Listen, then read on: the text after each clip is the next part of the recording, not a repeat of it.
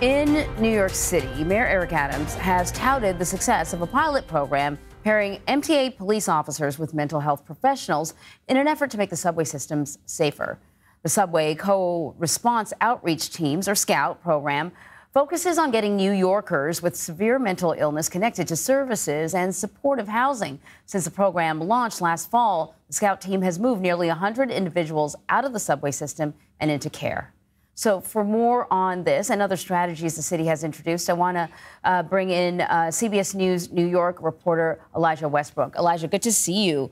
Um, so, let's talk about this. Uh, how effective is the Scout program um, when it comes to lowering crime? Is it able to connect people in need to long term care? And, and sort of what are some of the challenges? Well, Anne-Marie, uh, good morning. Good to see you as well. You know, I can tell you the New York City Police Department and the Metropolitan Transportation Authority, of course we know it as the MTA, uh, have been really keeping a close eye on this newer program since its launch last fall. So the latest data as of this reporting is showing us that the scout teams, they've been able to persuade at least 99 people to accept shelter. Uh, 26 people voluntarily accepted uh, getting evaluated at the hospital contrary to 24 people who were involuntarily taken to the hospital for psychiatric assessments. So for now, transit officials and police are really seeing this as a success. Uh, in fact, the chairman and CEO of the MTA went on the record at a recent board meeting to say that the work is costly, but, quote, worth it even if uh, just a few hundred people get into treatment. Now, the second part of your question, Anne Marie, when it comes to crime, uh, remains a bit unclear in terms of the correlation between the two. Uh, however, we do know overall crime is decreasing in the city's subway system. Uh, just last month, the mayor touted the fact that crime had dropped more than 26 percent from the same time uh, same time period last year. Wow. Okay, that's that is all good news. Um, New York City is also going to soon be piloting new technology designed to detect uh, firearms carried by travelers on the subway.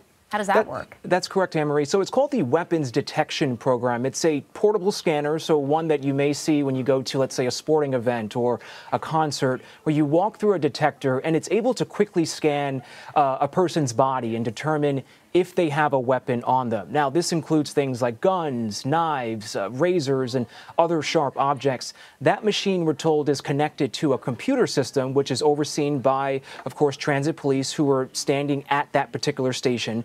Uh, we're also told by the NYPD that the machines will be placed at select subway stations during a 90 day period.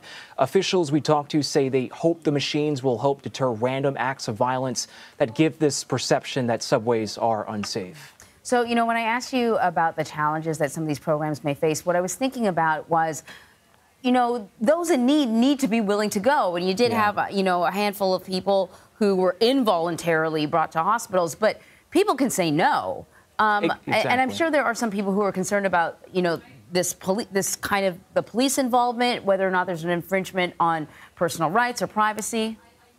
Yeah, you know, and it certainly appears that way, Anne-Marie, for the most part, that these programs are more based on voluntary compliance. But on the flip side of that, there are commuters and groups out there here in New York who are sounding the alarm on privacy issues, uh, particularly when it comes to the weapons detectors. Uh, the Legal Aid Society, for example, uh, right here in the city, had put out a statement that I would like to read in part, and we have it right here.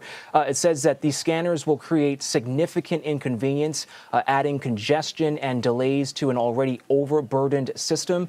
Uh, does go on to say even worse that they are an unjustified invasion of privacy and put people's lives at risk from the panic that an inevitable false alarm would induce, end quote there. So, you know, Anne-Marie, it does seem some folks are split over what these new programs could do, and only time will tell how effective uh, they are in combating crime. Indeed. Uh, Elijah Westbrook, thank you. Thank you.